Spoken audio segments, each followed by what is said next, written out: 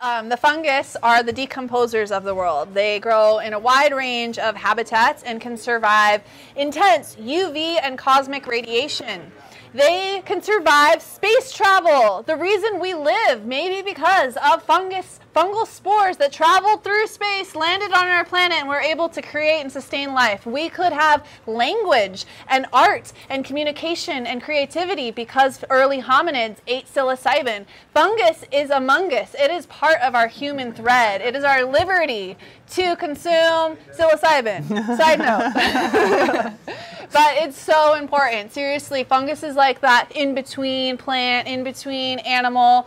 It exhales CO2. We exhale CO2. Plants don't. They exhale oxygen. So fungus is actually more closely related to us than a plant is. It's very interesting. We have a cosmic relationship with fungus and it is super important. Like I said, 90% of your phosphorus can be harnessed from the earth through a nice mycelial network. We understand that mycelium is the, the web of connection. And although fungus is slow to grow, it can move vast distances. One fungus can cover the entire forest floor.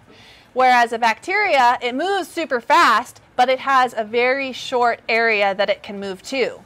Fungus, when it starts growing, this mycelial web will convey information from one end of the forest to the next. Hey, yo, pine bark beetles are coming in.